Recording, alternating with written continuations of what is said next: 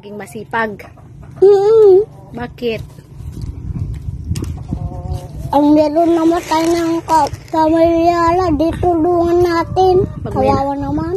Kapag may namatay na kapamilya, tutulungan natin. Huwag. Bakit natin tutulungan? Kakaasida? Kakaasida. Anong ibibigay mo? Ulam. Ulam. Mm Ibibigay mo yung ulam mo. Yung, yung ulam mo sa pagkain, ibibigay mo sa kanila para may maulam sila.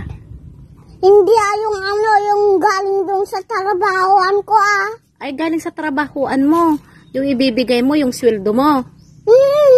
I- Itutulong mo yung sweldo mo sa, sa ibang tao.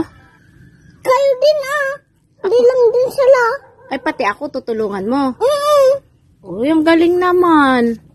Gagawin mo yan sa ibang tao, tutulong, bibigay mo yung sweldo mo. Tapos Kapag lumaki ka na, tapos kami din, bibigyan mo. Mm.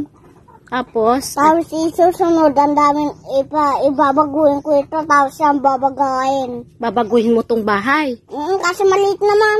Mali- Ay, maliit kasi kay Tito malaki. Ay, gusto mo yung malaking bahay, patatayuan mo ko ng malaking bahay. Mm. Wow, ang galing naman.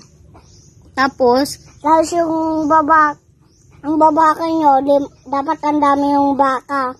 ay maraming, bibilang mo ako ng maraming baka. Mm Tapos, ano pa, Kung namatay na ako, hindi ka mamamatay. oh Bata ka, bata ka pa. ipanlagi ko ako namatay na ako sa inyo, sa inyo na yun. Wala nang sa akin.